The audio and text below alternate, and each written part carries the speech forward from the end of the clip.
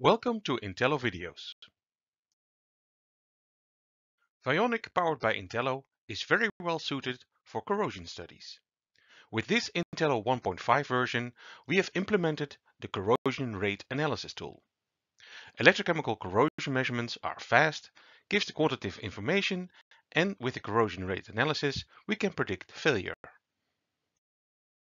When there is corrosion on a metal sample, in this example iron is oxidized into iron 2 plus and two electrons are released in the iron sample, this is called the anodic reaction. On the cathodic side of the metal sample, these two electrons are used for the cathodic reaction. The same amount of electrons are used overall. There is no net current happening at the electrode. The flow of electrons that transfers from the anodic side to the cathodic side is called the corrosion current and this corrosion current gives you the speed of the corrosion process. Unfortunately, we cannot measure the electron flow inside the metal sample directly, so we are bound to the current of the anodic reaction and the current of the cathodic reaction. If you can estimate this flow of electrons, then you also know how much material is going to be corroded with respect to time. And this is what we call the corrosion rate.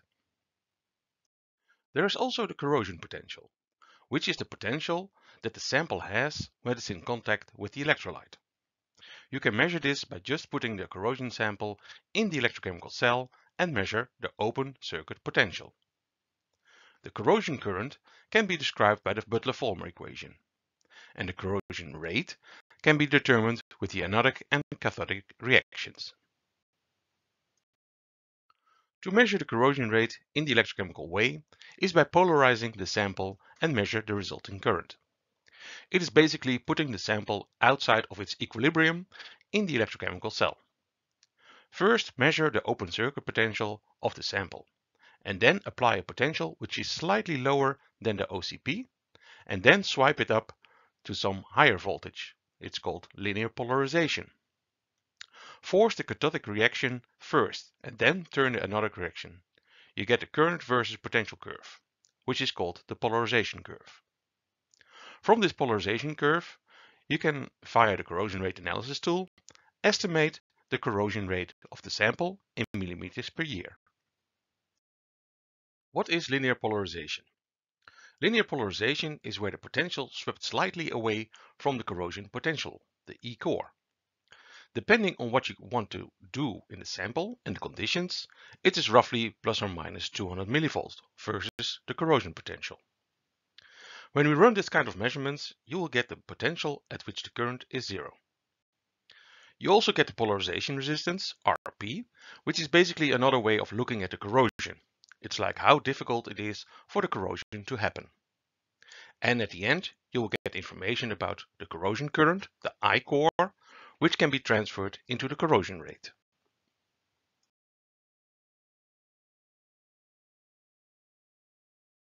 How we go from the current versus potential curve to the corrosion rate measurement. When we polarize a sample, the potential is applied and the current is measured, which is always the sum of the anodic reaction and the cathodic reaction. The anodic reaction can be, for example, the rate of the iron dissolution into the electrolyte. And the cathodic reaction would be the rate of hydrogen evolution. Each current is expressed by this exponential term, which is called BA, anodic, and BC, cathodic. These are called the Tafel slopes. In red, the anodic current part, you cannot measure that by itself. In blue, the cathodic current part, which you also cannot measure by itself. What we measure is always the sum of two reactions. The black curve is what we really measure with the linear polarization. And with the corrosion rate analysis extract what is hidden at each side. When the potential is applied and far enough from the corrosion potential, the current will be mainly the anodic current on one side and the cathodic current on the other side. When we plot the current on the logarithmic scale versus the potential, you will get the Tafel plot.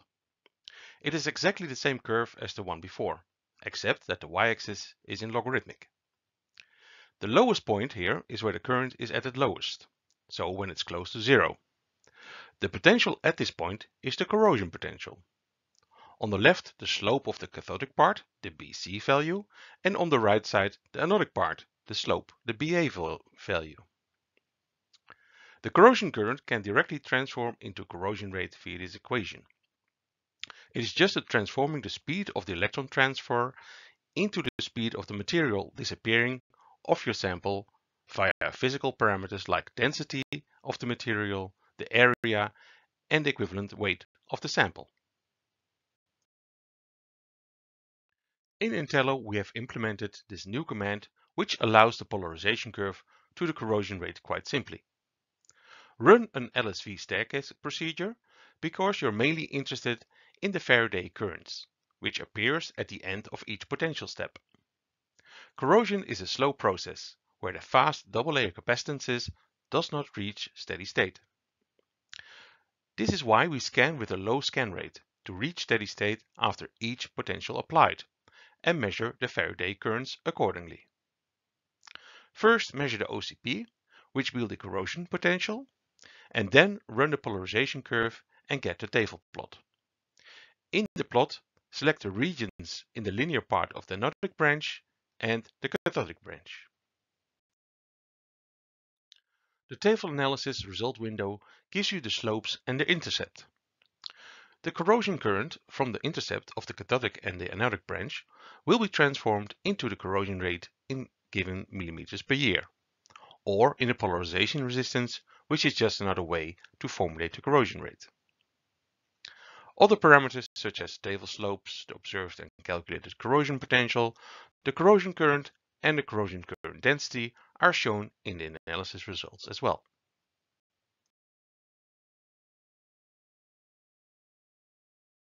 The data table will summarize all the output from the tafel analysis from the corrosion rate analysis command.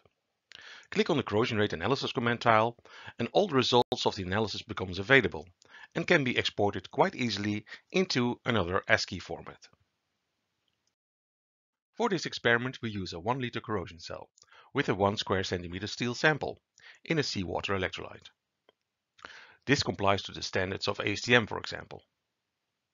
We can minimize the IR drop by using a Luggin capillary, so the reference electrode is very close to the surface of the working electrode. The corrosion is heavily dependent on temperature. Use a stable or controlled temperature environment by using a water bath and a thermojacketed cell for example. Welcome to the Intello software. In the Intello software, we can find the default procedures on the left side of the program. Go to procedures. And in the procedures, you will find linear polarization tafel analysis. Double click on this one. We can look at the sequence, but we can also find out the main parameters. In the main parameters, we've already have the surface area, the density, the equivalent weight, the OCP measurement, start potential, stabilization time, stop potential, and scan rate. So we can modify these main parameters with your own sample. Well, we want to scan slowly, so I'm going to minimize this to 10 millivolt a second. And I want to scan around 200 millivolt plus or minus the OCP. So this is minus 200 millivolts to plus 200 millivolt versus OCP. The OCP is measured for one minute, and this is the parameters for my steel sample. Everything is set, and the data will be recorded with an OCP measurement the polarization curve, and the tafel plot. At the end of the measurement, we will do the tafel analysis. So we press start because the procedure is loaded into my Vionic system and the start button becomes available. We measure for one minute the OCP and if you are already know or stabilizing for a long time, you can accept these values. So you don't have to wait for the one minute. Normally you measure for a longer time to get a stable open circuit potential. So we can accept this value. and then the measurement will start. It's stabilizing for 5 seconds and then we get the polarization curve. And at the same time we can see the tafel plot. That's just the logarithmic scale of the current.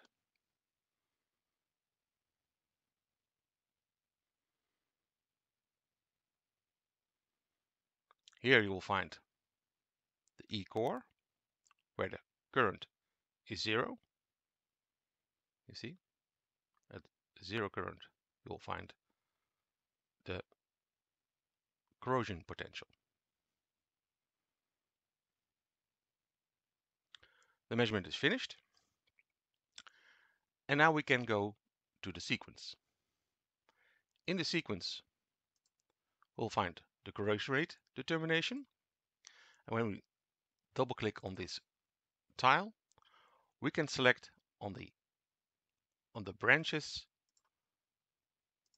the different areas of our interest.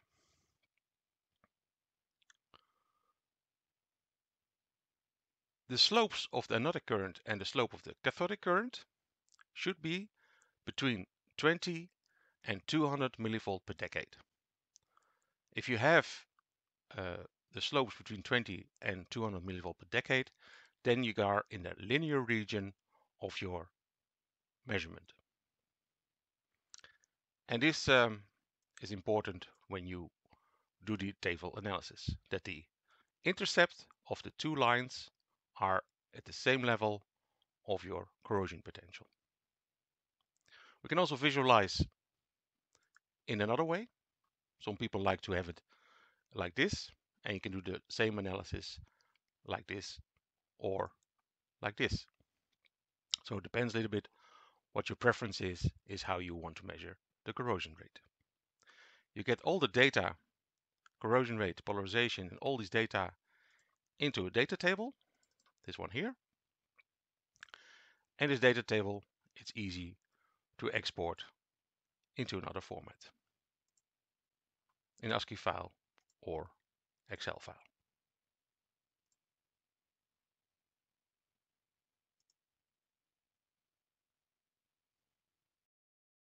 Thank you for watching Intello videos. If you found this Intello video helpful, please like and share with your colleagues. You can subscribe to the Metrohm Autolab YouTube channel so you are notified when new videos are available.